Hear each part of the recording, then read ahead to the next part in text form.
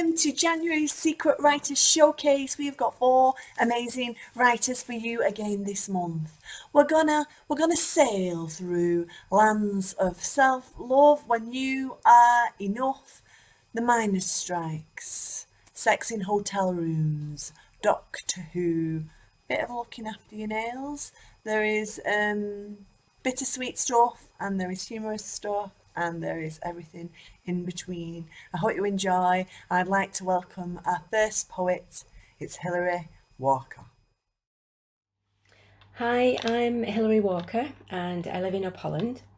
I write poetry and in normal times I like to read my poems at various open mic nights such as Write Out Loud at the Old Courts in Wigan and various venues in the surrounding area. For Secret Writers, I'm going to be reading four poems written during the pandemic, and the first one is called Human Touch. I work as a funeral celebrant and was inspired to write this poem after I'd conducted the first funeral where it wasn't possible to shake hands with a grieving family anymore, which was extremely sad and unfortunately still is the case. Um, the poem won a competition by um, Building Bridges in Pendle, and the prize was to turn the poem into a song, which has just been released by Manchester singer songwriter Emma Mould and is available to listen to on YouTube. It's also called Human Touch. So, this is the poem Human Touch. The first human language is touch, instinctive, automatic, second nature Touch comes before sight, before speech. Skin on skin begins each individual journey. In life, in death, in times of great despair, touch is there. We reach out, we grasp hold, sustained, soothed by human contact, we respond to those in need, hand on hand, heeding their pain. But when touch declares war, when touch becomes the enemy, when touch brings the biggest global threat the world has known, our lives are turned around, thrown upside down, postponed, cancelled indefinitely. We retreat and seek a different kind of empathy with our fellow man, find new ways to care, to just be there virtually communicating a means of healing, technically alleviating anxious feelings of intense sorrow, heart on heart, until tomorrow, when the world will reopen and invite us back to living, when the sun will shine and mankind will be forgiving, when we will appreciate all we ever had and all we ever needed to survive when tears dry and smiles grow, and the power of human touch is restored in all its glory. Skin on skin, hand on hand, heart on heart, the first human language is touch. Thanks. So, my second poem reflects on another big story from 2020, and this relates to the campaign for Black Lives Matter, and this is called White Silence. When George Floyd was murdered and cried, I can't breathe, it wasn't your fault. You didn't kneel on his neck for 8 minutes and 46 seconds. You are a good person. You were horrified. You empathized with his community deeply. But if you don't speak out, if you don't enunciate, if you don't find your voice, no matter your inability to articulate the right words, then you may be to blame next time.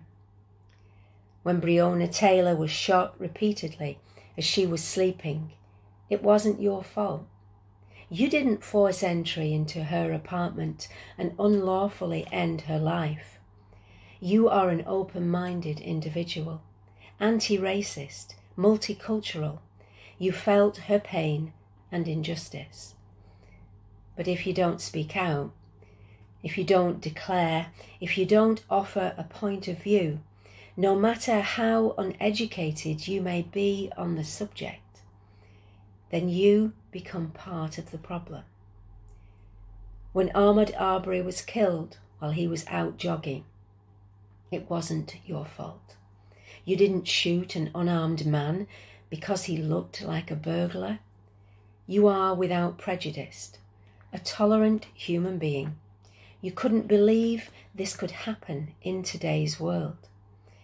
But if you don't speak out, if you don't proclaim, if you don't express yourself on the issue, no matter how uncomfortable you feel, then your silence will speak louder than your words. Thanks. Um, and so, moving on, my next poem is quite personal and it is a little bit dark. It's, it tells the story of the death of a close family member who died when I was a young teenager, and it's called Escape 1970. Inside the straitjacket, she is constrained. Last days before death, a lonely loss of freedom when needed most. I imagine her emotions, tied up held down, crushed, panic spilling into every corner of her sterile camisole. Inside the straitjacket, there are moments of clarity, hidden strength, a fight for recognition in a damaged brain, her precious mind soaring above forgotten reality. I imagine her frustration, silent screams, senseless words, curtailed breathing, a slight petite figure bound in canvas chains. Inside the straitjacket, does she fool herself? Does she dream her shackles are crafted from clean white muslin, silken handcuffs with delicate bindings caressing her tired skin? I imagine her courage, constant in the darkness, I imitate, emulate, hold myself still with crossed arms and false fears. It's not the same. Inside the straitjacket, she whispers a final prayer for release, a lifetime's regret surrendering to liberation, last words unrecorded, lost inside fragmented memories of loved ones, buried beneath the passage of time. Thank you. And finally, um, you might be glad to know my last piece is a little bit lighter. It's also about the pandemic, and it's for those of us who've been missing our beauty treatments in lockdown, especially appointments to have our nails done. So, this is called Casualty of Our Time. One by one, they fell, like brave soldiers in combat zone for months, I cherished their growth, their beauty, regularly strengthening each one with care. Their colour was luminous, deep magenta, vibrant and striking, manicured in uniform, a glossy dance of alignment, sparkling symmetry completed a professional finish, top coat polished, the perfect set. Some fell unexpectedly. Others just knew it was their time and laid down their arms. Lockdown and my fingernails are a battlefield. Crimson crushed, dead shellac, the latest victim, a casualty of our time. Thank you. Thank you for sharing your talent with us, Hilary. Um, that was just wonderful. It made me cry. Um, and we're going to move on from poetry now to a script come story um, written about the miners' strikes. Hello, Susan Rigby. Hello, And uh, I'd like to introduce our next writer, who is Susan Rigby. So you might recognise Susan from the first, the very first Secret Writer Showcase, but she only got to do a very small piece. So I've invited her back, and she's doing a story that we turned into a script. Um, so what is the title of this piece? Hello, the title of it is uh, Strike. It's about the miners' strike in 1984. Oh. And I performed this piece at Sunshine Writers and Wigan Old Courts. Very good. And who will you be playing when we read this out? Well, I'll be the narrator and I'll be playing Ron, uh, Mildred's wife, husband. okay, and I'll be playing Mildred, won't I? Who's the wife? Yeah. Jack. Yeah. Ron's friend. All right, yeah. let's begin then. It was 4 a.m. and Ron Williams sat round the kitchen table, eating his soggy toast and not speaking a word to his wife, Mildred. Mildred was staring out of the kitchen window into the backyard, sipping a mug of hot tea and blowing the steam to cool down. Are you on the picket line today, Ron? Yeah, I am, and I will be every day until we succeed in our fight to keep our pits. I've to meet Jack near the old bridge in five minutes, so I better get my skates on. He gave her a peck on the cheek, grabbed his jacket, and went out the front door. Mildred stepped back from the front door and walked into the living room. Looking through the window, she caught a glimpse of him as he ran down the cobbled street. Ron had worked down the pit since he was 17. He had changed since the strike, not as romantic as when they were first married. He had become introverted, not speaking only about the picket lines and how they will not beat us. Mildred was worried. worried. Jack and Ron joined the other miners. And scab, scab, scab, scab, scab, scabs. The words ricocheted out the mouths of the many angry strikers to the pitmen who are venturing over the picket line. The riot police were lined up like tin soldiers, ready to be knocked down. They were guarding pit gate so the non-strikers could get through. It's going to be a long day. It's early morning and already the police are moving in. Ron wanted to strike like all the other miners. They had to fight to keep the pits open. It's their way of life and there was no other jobs around here. He wanted a better life for Mildred because she gave up her training to become a nurse in London to be with him. His mind wandered back to the days when he was courting her and they would meet up in the park and chase each other around the fields. Mildred, tall with long black flowing hair and her spindly legs showing off in a miniskirt. Now, what did he have to offer? Striking, not much money coming in, receiving food parcels from his parents. Mildred, working in the chipper, smelling like last night chip fat when she comes home. Lately, he noticed her running upstairs to the bathroom and throwing up in the toilet. She complained it was the smell of the old potatoes they used. His daydreaming was interrupted when there was a big roar like a football crowd. What's going on? It's the flying pickets from Yorkshire. They've come to join us. Come on, Ron. Let's move up the line and greet them.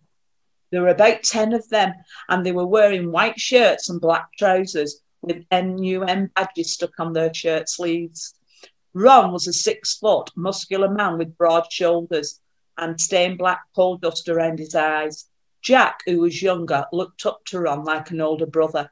They had been friends for years since he started down the pit. He was single and liked to have a good time in the pubs. Mildred had gone to work and was putting on her fat splash stained pinny and started to serve customers the same people every day wanting chips without fish because of the strike could not afford anything else. The owner of the chip shop had lowered her prices to accommodate the miners' families. In this community, the women would gather together and help each other in any way which possible. Some even joining their husbands on the picket line. It was a long day for Mildred, running to the toilet and back with sickness. The owner, Mrs. Price, sent her home because she couldn't lose business. There was always someone who would offer to help for a free bag of chips. Mildred was walking slowly to her house down the road and she saw a young lad involved in a fight with two bigger lads. They shouted over to them and told them to stop fighting. They gave her a mouthful of obscenities, but that did not stop her to go over and try to defuse the situation. The younger lad was around 10 years old and was clearly upset with a black eye. Why are you two picking on this young lad? shouted to them. Didn't you didn't you know his dad is a scab and doesn't strike along with our dads? They shouted back. It doesn't mean you have to hurt him. It's not his fault. He doesn't deserve that beating. Mildred was furious that it had come to this because of the strike. Families against each other inciting violence within their kids. This surely is not the way. The lad ran off, laughing and shouting, scabs behind them. Mildred put her hand on the young boy's shoulders and asked if he was okay. He said yes, and before she had the chance to help him, he ran off in the opposite direction. Reached her home and lay down on the settee with her feet up. I'm thinking she should tell Ron tonight about the pregnancy. She was smiling, thinking about her baby. At least something good may come out of this mess but subconsciously she worried about the longevity of the strike and what the outcome would be. Ron and Jack had finishing finished picketing for the day, so they said goodbyes to the other miners who had come to relieve them on the line. They were walking back to the bridge when suddenly a man in his sixties came running past them with blood pouring from his face. Then four policemen were chasing him, shouting, Get back here, you scumbag! Jack, what shall we do? Ron said. What do you think? Let's join him. They both caught up with a man and each took an arm and ran with him. The older man tripped up and fell and passed out. The police caught up with them and started to hit Jack with a truncheon on his head. Leave him alone, he's only a lad, Ron shouted. A scuffle ensued between the police and Ron all four of them rolling on the ground, hitting out at each other. Jack managed to get up off the ground, grabbed one of the policeman's arms, and punched him in the face. The policeman was too quick for Jack. One heavy blow from this heavy built irate Bobby, and Jack fell to the floor once more. Ron was like in a china shop. He plunged into this Bobby and was fighting with him, but to no avail. Ron was knocked out too, and all three men left for dead on the road. The police ran off laughing and did not look back. Meanwhile, Mildred was wondering where Ron was. He should have been home by now, as it was getting late. She thought of meeting him and telling him the good news. She put on her grey gabardine mac and went out to look for him. Walking over the hill towards the mine on a dark country lane, she saw what looked like a heap of rubbish piled up. As she walked closer, she gasped in horror. The two men were huddled together, arms around each other, bleeding coming from both her head, arms, and legs. She screamed out and reached out her hand to comfort the men. They were mourning, and Mildred tried to clean the blood away. It was Ron and Jack. She managed to lift up Ron's hat, head and speak to him. Ron, it's Mildred. I will go and get help. She cried through her tears. Mildred ran and ran until she reached the picket line shouting out to Ron's dad, who was there supporting the miners. Can you come quick? Ron and Jack are lying on the ground near the bridge. They have been beaten. Her voice echoed through the night as she shouted to them. It was getting dark, and luckily she was seen, and the men came running, leaving the picket line. The police had their backs to them, but Mildred, shouting, there were around five policemen running after them. Mildred shouted to them to stop, but they swung out to her and she fell on the ground. Mildred woke up to find herself in a hospital bed. She had fainted whilst the police ran past her. Overlooking her was Ron with a black eye, broken arm, and on crutches. Hello, love, he said quietly. How proud I am of your courage today. I know I have not been the easiest man to live with, but it is all for community and to keep the pits open. The baby is okay too. That is all that matters. So you know about the baby. I was coming to meet you with the news, Mildred whispered, tears running down her face. I have decided to go and live with my parents for a while until the baby is born at least. I don't think I can cope with all the worry about you not coming home and I get news that you're dead, I am not as strong as all the other wives. If that is what you want, Mildred, you do it. But think about this. We all have a fight on our hands. We cannot let them lot in government rulers and our beliefs. We are fighting for our baby so he or she can have a home and a secure life. That fellow who was with us unfortunately had a heart attack and died. Goodbye, Mildred. He gave her a peck on the cheek and left. He walked out of the hospital room and shouted behind him, Hope to see you tomorrow at home. Oh, hope to see you at home tomorrow. And that's it.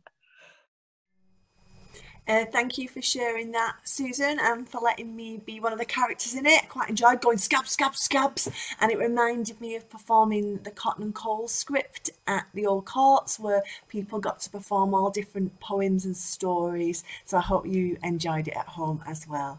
Uh, next up, we've got another poet. It is the wonderful Catherine West McGrath. I've been following her on Instagram, where she does some lovely little film poems, and you know, with a voice recorded over images. So check that out. Uh, enjoy. Hello, my name's Catherine West McGrath, and last year I published two paperback collections of poetry. The first one is called There is a Person Poems and Lyrics to Heal the Brokenhearted, and it's available on Amazon. Um, and I'm going to read four poems from that collection. They all have a common theme, the four poems, which is love. The first one is about romantic love. Then we have self love. The third one is about commitment love. And the fourth one is dedicated to St. Valentine himself. So, love poem. You're my safe space, you're my happy place. I see in your face beauty, love, and grace. You're my now and here, you're my all that's dear, kindest voice to hear, you're my free from fear. You're the sun's warm rays, you're my special days, when it's all a haze, you're my favourite gaze.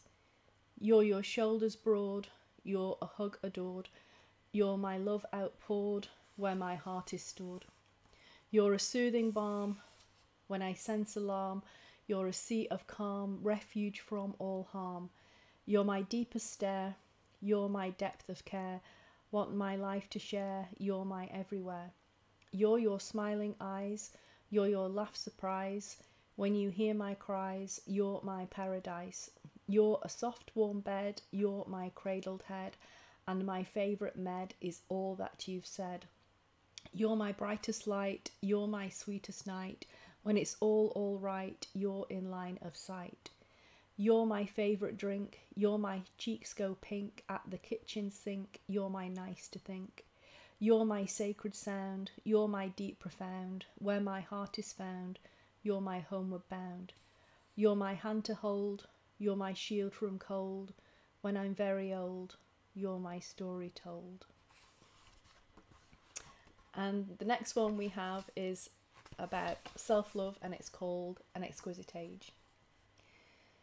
An exquisite age is when you finally understand you are the one you've been searching for.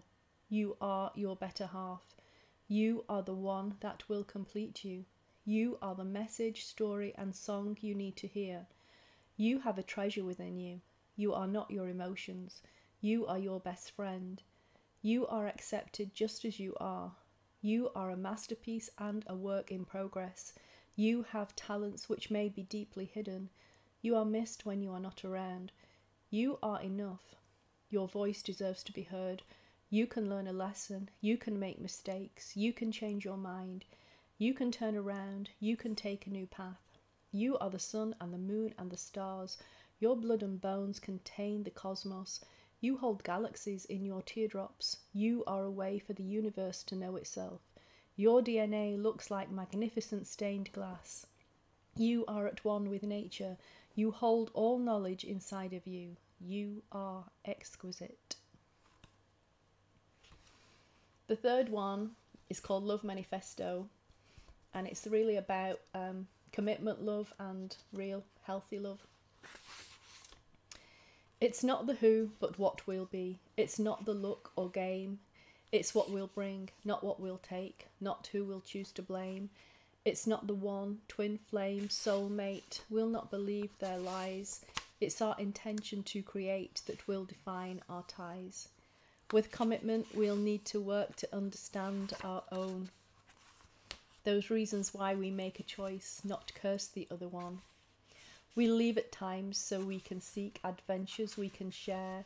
To return back with tales and truths, we'll find our passions there. We'll not demand something we won't expect within ourselves.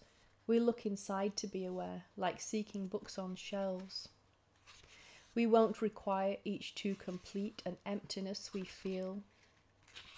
Our completeness is ours to find, not others we can steal. We'll make the time to nurture, care, so each one will be heard. We'll not neglect our precious love, our tiny fleeting bird. We'll take an interest in the goals, the ones which fuel our drives, and love the passion that we know gives meaning to our lives. We'll show compassion every day. We'll make sure we are kind, communicating where we can the stories in our mind. We'll be two equal spirits whole. We'll complement the other. We'll create space to fuel desire, attentive but not smother. We'll let each live their life in full to learn and stretch and grow and thank each other for the gift, the love we've come to know.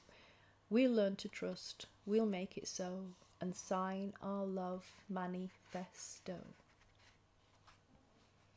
And the final one I'm going to do for you is about Saint Valentine, and it's actually based on a true story.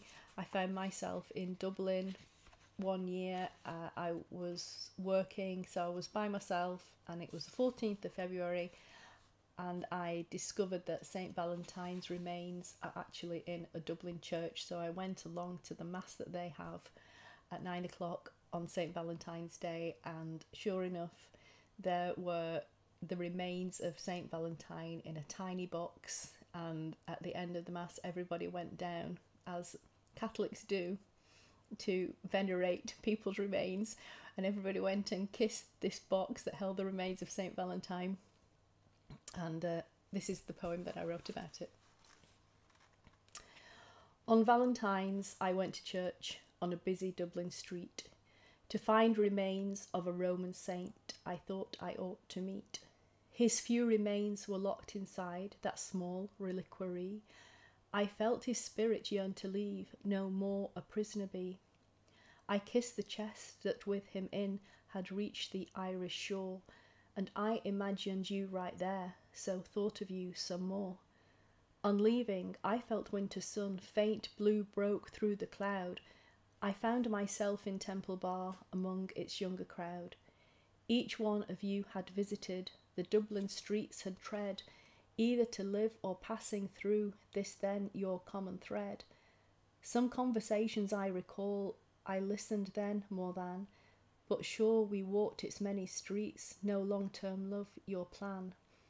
And each new meeting pushed me on to find who I should be, till in that Dublin street I knew my one true love was me.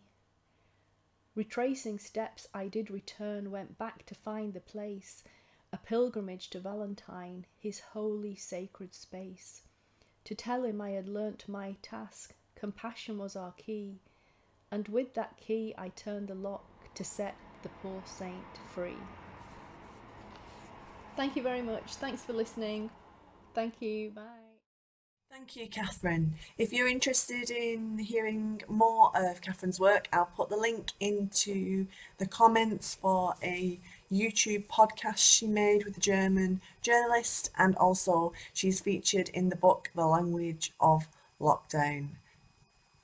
And our final writer of this evening is the wonderful Paul Turton, who I met when he was travelling up um, all around the country to work, and he came to the open mic nights in Wigan. Hello there. My name's Paul Turton, and Louise has kindly asked me to come along and do some of my stuff. Now, some of you may recognise me from the old courts when I used to come about 18 months ago whilst I was working away from home and stopping in Earlham and Skelmersdale. I wrote most of my poetry while sitting in a hotel room, totally bored, as a way of stopping me going bonkers. You'll also notice as well, I don't have a local accent. I'm actually from Nottingham and back and living working there too.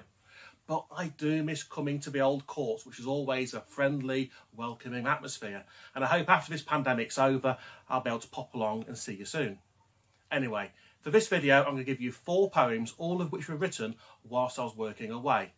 Now, this first one is based on a particular experience I had stopping in one of the hotels just outside of Skem. I'm stopping in a hotel room. You're just staying for the night. I just want to get to bed and screw my eyes up tight. And then the noises begin. This is the story of my plight. The couple upstairs are having sex. I can hear their bed start to squeak. I mean, they must be having lots of fun because I can hear the lady shriek. The couple upstairs are having sex. I can feel my room start to shake. All I want to do is sleep, but they're keeping me awake. The couple upstairs are having sex, and I don't doubt the lady's piety because she spent the last half hour calling continually upon a deity. The couple upstairs are still having sex. He must be asking questions, I guess. I can't hear what he says to her, but the answer is always Yes! Yes! Yes! Yes! The couple upstairs are still having sex. I mean, they've been at it now for an hour, but at least the bed stopped squeaking because they're at it in the shower. You know that couple who are having sex? I saw them at breakfast time and I said, based on your performance last night, out of 10, I'd score you 9. Now, there's only one question that needs to be asked, and I don't want to make it sound like a whine. But why do other people's sexual activities last much longer than mine? True story, of that. Now, the next poem is about death, and it's called When I Die, open brackets, notes for my wife, close brackets. And as we've been stuck indoors due to this horrible pandemic, I'm going to hand over to this handsome chap that you can see a bit of the outdoors for once. We all have to die someday, and one day I'll draw my last breath. You know, there's so many euphemisms out there for that thing that we call death. There's pushing up the daisies or being brown bread, sleeping with the fishes or like the ex-parrot, he's dead. Dead as a doornail, gone to the happy hunting ground, popping my clogs. Either way, I'm no longer around. Death finally comes to us all, and one day that bony bastard will beckon.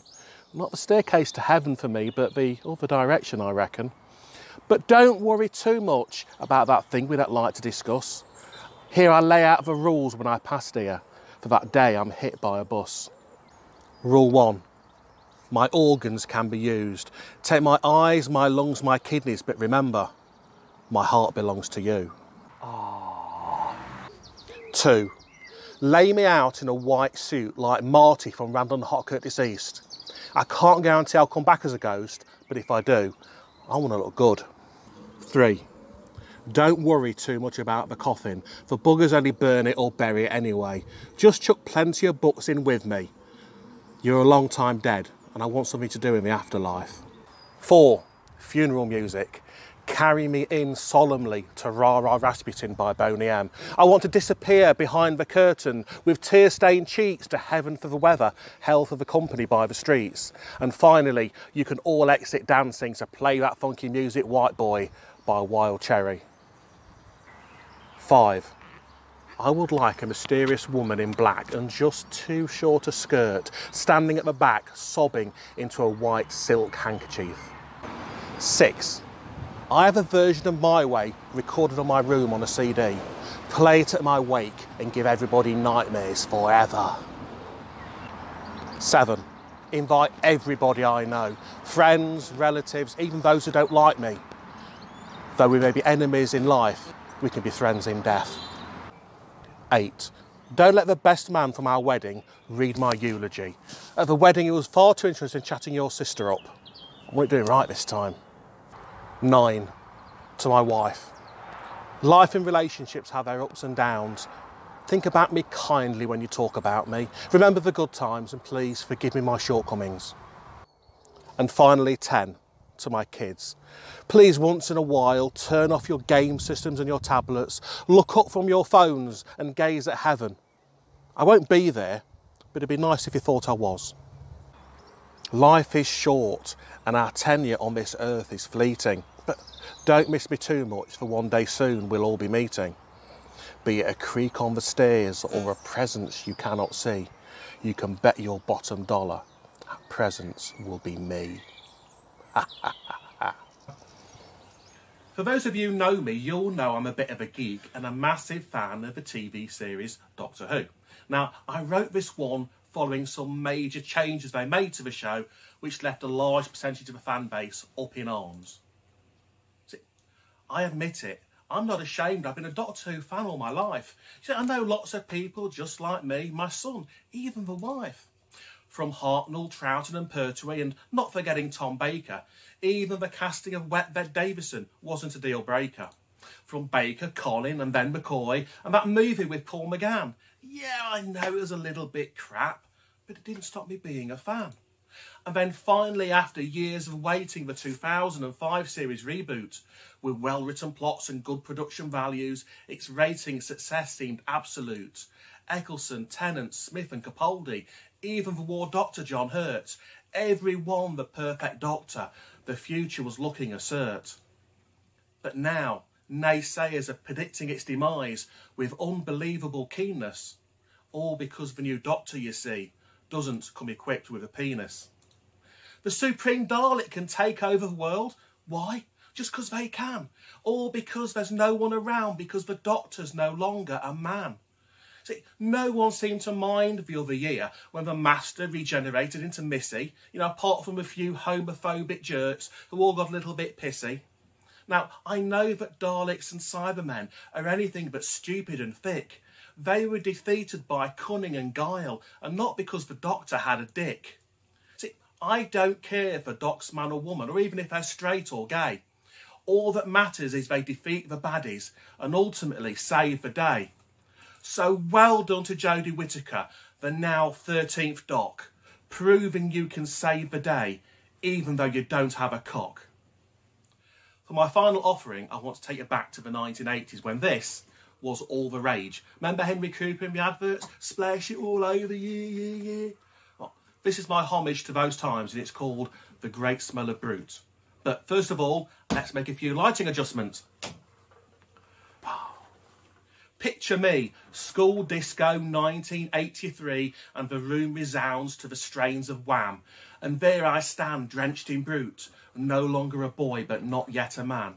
I mean, just by the way, how can the person who wrote Wham, Bam, I am a man also write Careless Whisper? Guess George Michael can. And there I am, age 16, wearing my dad's best suit, hot and sticky and sweating, the smell drowned out by the Brut. You know, thinking back to the adverts, though, I wasn't a Kevin Keegan fan. It was definitely a Henry Cooper for me, a real man's man. But then dancing like Shakin' Stevens, like he'd just dropped some acid, lurching around the dance floor, limbs all floppy and flaccid. But I'm not there for Shaky. I'm just there for the last dance, and you know, maybe some snogging with Mary Jones, given half a chance. Wanton stirrings and sexual awakenings, lustful desires with a longing and an aching. The time approaches. The last dance is near. It's time to uh, find her and overcome my fear. And now, ladies and gentlemen, take your partners for the last dance. In a haze of Charlie, she drifts over to me and asks me to dance. Well, that's something I didn't foresee. Youthful awkwardness. Where do my hands go? Am I dancing too fast? Am I dancing too slow? Am I holding her too close? Am I holding her too far? Can she smell my fear? Just how the hell do you undo a bra? To John Lennon's woman, I lean in to kiss. Clumsy and too keen, I manage to miss. Second time better, our lips finally meet. I draw her in tighter and feel her body heat. Oh, they were warm and moist with the sweetness of fruit, and I hope she didn't mind the overpowering smell of my Brut.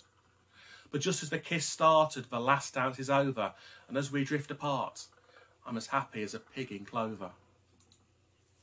But the next day at school, I tried to catch her eye, and she looked and looked away, and I could feel something die. That briefest moment of magic was quickly all gone as I saw her holding hands with her new boyfriend John. School ended that week. It was over, I knew. And what the future held next, I really hadn't a clue. But of future adventures and tumbles, I will remain mute. But I'll never forget that great smell of Brut. Thank you, everybody. See you soon. Take care. If you've enjoyed watching the Old Courts live and you'd like to make a donation to support the work we do, please head over to www.theoldcourts.com forward slash donate. This year has been incredibly difficult for most arts organisations and we're no different. But with a huge effort and support from you and from our funders, we've managed to secure our organisation and the jobs of every staff member. We've also provided 343 artists with paid work for the Old Courts Live and our volunteers have delivered over 700 food parcels and made 600 calls to isolated local residents. But the battle isn't over yet. We're currently closed to the public with zero income and we don't know how long this closure is going to last. If you can help by making a donation, then you're helping to secure your art centre. We're hoping to